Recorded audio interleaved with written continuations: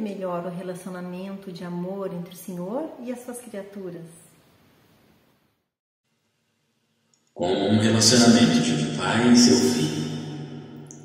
Eu sou como um pai que ama e cuida do seu filho, o ensina a andar, tomando-o pelos seus braços, lhe dá instrução, o cura quando doente e supre todas as suas necessidades.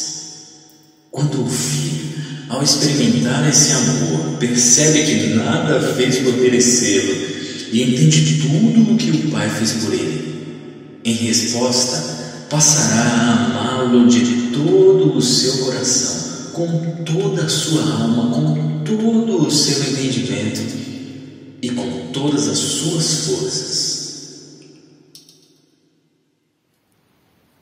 Sendo seus mandamentos uma obrigação, eles podem fazer parte de um relacionamento de amor que implica liberdade de escolha? Como disse, o fundamento dos meus mandamentos é o amor. Eu, como pai que ama seus filhos, quero poupá-los do sofrimento e morte. Por isso, eu, como vosso Deus, os ensino o que é útil e vos guio pelo caminho em que devem andar. Ah, se vocês tivessem dado ouvidos aos meus mandamentos, então seria a vossa paz como o rio e a vossa justiça como as ondas do mar. Porque a lei do Espírito de vida em Cristo Jesus vos liberta da lei do pecado e da morte. Quem me ama de fato, guarda os meus mandamentos. Por isso, o meu mandamento é este: amem-se uns aos outros eu vos amei. Lei do pecado e da morte? Então quer dizer que não guardar os seus mandamentos implica em morte? Quando a concupiscência concebe, dá à luz o pecado, e o pecado, sendo consumado, gera a morte. Porque o salário do pecado é a morte mas o dom gratuito de Deus é a vida eterna por Cristo Jesus. O temor do Senhor é fonte de vida para vos desviar dos laços da morte. O Espírito é o que vivifica, a carne para nada aproveita.